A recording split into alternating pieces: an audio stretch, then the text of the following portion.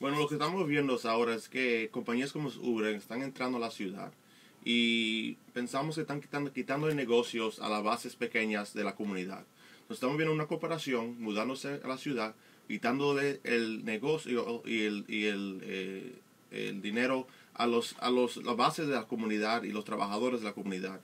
Y yo he hablado con muchos eh, choferes que, que no les gustan el, el, el servicio de Uber, no le gustan cómo eh, se maneja el, el, dinero de la compañía al, al, al, al, taxista y a la base. Y, y yo eh, con, con, el concejal Idanes Rodríguez nos juntamos para hablar cómo podamos a, hacer unas leyes y apoyar las bases de la comunidad para que ellos podrán seguir eh, luchando y trabajando para ten, mantener ese, ese, ese servicio en las comunidades. Bueno, lo que yo he visto es que estos impuestos eh, no, no, no ayuda al taxista. El taxista está perdiendo más dinero cuando reciben su cheque.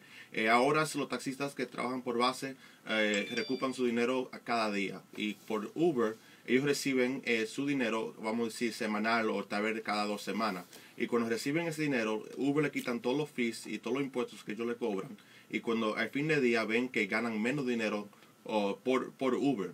Y también si, si el taxista quiere, eh, vamos a decir, subir el precio de que ellos van a, a cobrar al consumidor, eso va, al fin de día yo creo que le va a dañar más, eh, va a hacer más daño al consumidor que, que usas eh, los taxistas de bases.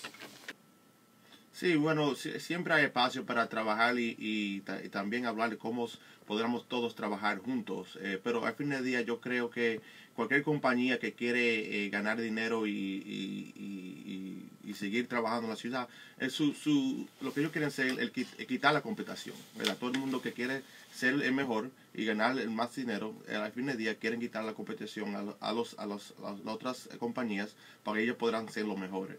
Eh, lo que yo eh, aviso es que las bases y, y los taxistas se pongan eh, juntos para trabajar, hacer saber un, un servicio igual a Uber, pero que, que le, que le pertenezca, que, que, que, trabaje bien para las bases comunitarias, para que en esa manera podrán competir con Uber. Si una base tiene este programa en su base, un consumidor de su casa puede llamar a la base por su, vamos a decir, por su aplicación y, y, podrá buscar pasajeros en la comunidad en esa manera. Entonces yo aviso a la base que se pongan la pila y, y pónganse a trabajar y, a ver cómo se pueden juntar y buscar una aplicación que lo que puedan